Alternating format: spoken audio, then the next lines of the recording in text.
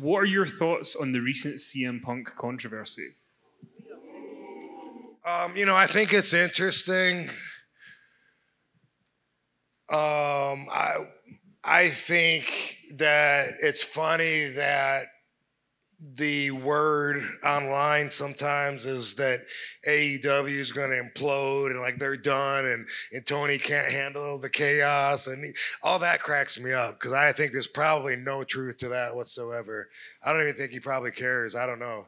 Um, but you know, I, I watched Punk's uh, interview that he that he gave when he was stuffing his mouth with Twinkies and um, shitting on everybody, and um, you know he he always strikes me as the same guy, you know, and that guy just from feeding his feeling his energy, right? there's a lot of egos in wrestling, right? I mean, you have first you have to have a big ego to even think you can do this, to follow your dreams and think, fuck yeah, you know, I can, I'm I'm a winner, I'm gonna beat out my classmates, you know.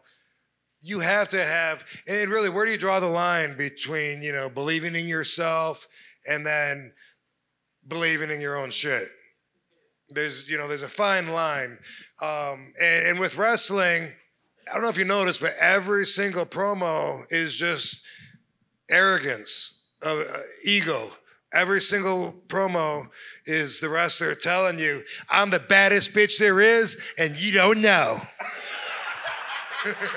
that's but that's every single everyone has their own spin on that but it's all and in real life you know like i've been separated from the full time long enough to where I don't even connect with that competitive ego anymore and it, it makes so many decisions for you when you're trapped in that in that way of thinking. You don't even realize it.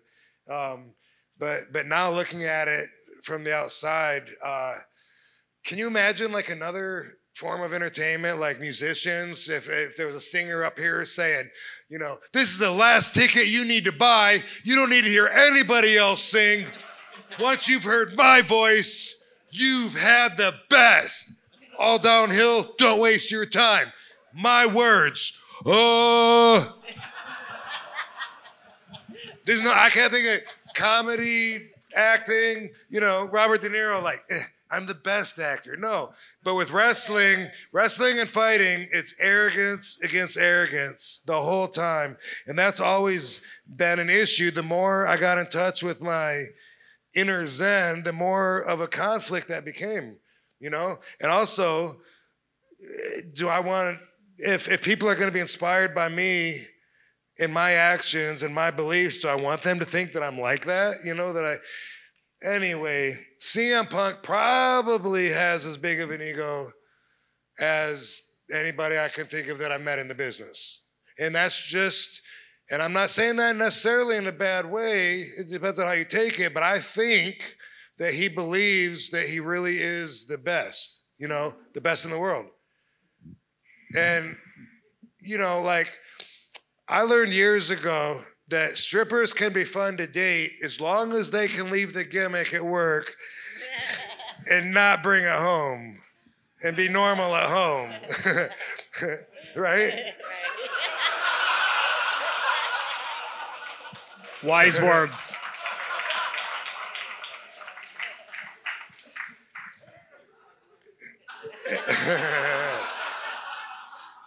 If you're able to come back in the dressing room and still be that guy in the ring that say that really believes you're the best in the world and you're ready to prove it or whatever, then you know the business looks at someone like that as like I said before, like dude, you're believing your own hype, and um, you know there's nobody on their own is moving the industry. It's everybody together. So um, being around him, just feeling his energy, um, I, I, I feel like he, I, I believe him. Hey, these guys make it to the top. The guys who believe in themselves the most, the guys who do the promos that convince you that they really think they're the best, they're the ones that make it to the top. They're also the ones that I can't stand because I think they're fucking crazy.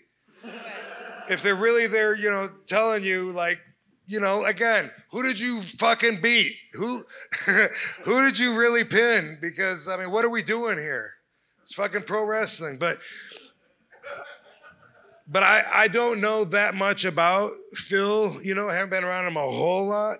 He when WWE ECW was around, as everyone knows, shortly after we started, I got suspended for 30 days. I'm gone, and there was some new guys coming in besides CM Punk, Bobby Lashley, uh, Vampire Dude. Uh, yeah.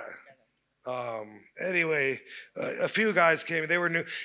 I'm gone for 30 days. When I came back, I'm at I'm at the first show back, and uh, CM Punk approaches me at the building, and he says, "Hey, Rob, I just want to let you know, I'm going to have a team meeting in the dressing room."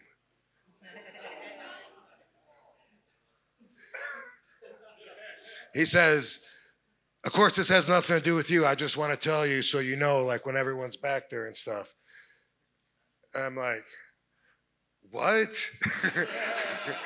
you're your locker room leader? Like, what happened? But some people are comfortable just taking that position of control and moving forward. And I, I don't know. I, I kind of think like he's, he's one of them. In the, in the meeting, he said somebody's been stealing uh, from the bags in the dressing room, and we know it's one of the boys. It was one of those deals. He said, obviously, we know it's not you.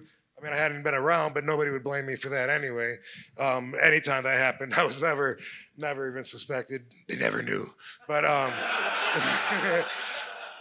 but just as an example of, you know, of, of CM Punk's um, sternness, like I don't think he's like real flexible in his code of ethics. I think he lives by like a real strict guideline where he's like, "What is somebody offending me? Am I offended? Should I be offended right now?" You know, I, I feel like I feel like that's his energy.